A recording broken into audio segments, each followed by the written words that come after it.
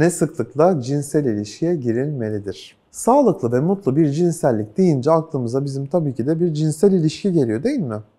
Cinsel ilişki sıklığı aslında insanın yaşamında veya bedeninde neler olup bittiğiyle alakalı olarak artıp azalabilir.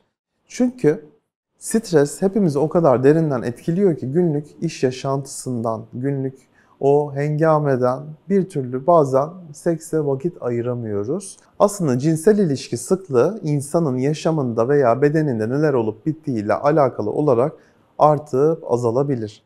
Hormonal bir dengesizlik geçirdiğiniz bir dönemdesinizdir. Cinsel ilişki canınız istemez. Adet döneminde bazı kadınlarda cinsel istek artabilir. Veya çok stresli bir durumdasınızdır, depresyondasınızdır. Canınız seks yapmak istemez.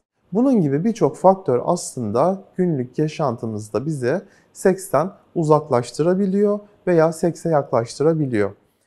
Burada aslında ne sıklıkta cinsel ilişki yaşamanın normal olduğu sorusuna herkes için geçerli bir standart cevap vermek mümkün değil. Bazı çiftler daha sık, bazıları da daha seyrek cinsel ilişkide bulunmaktan memnundurlar. Ben her zaman şunu söylüyorum.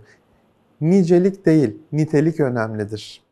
Burada asıl mesele cinsel ilişki sayısı değil, ne sıklıkta olursa olsun cinselliği yaşarken her iki partnerin de mutlu ve hazlı doruklarında yaşaması.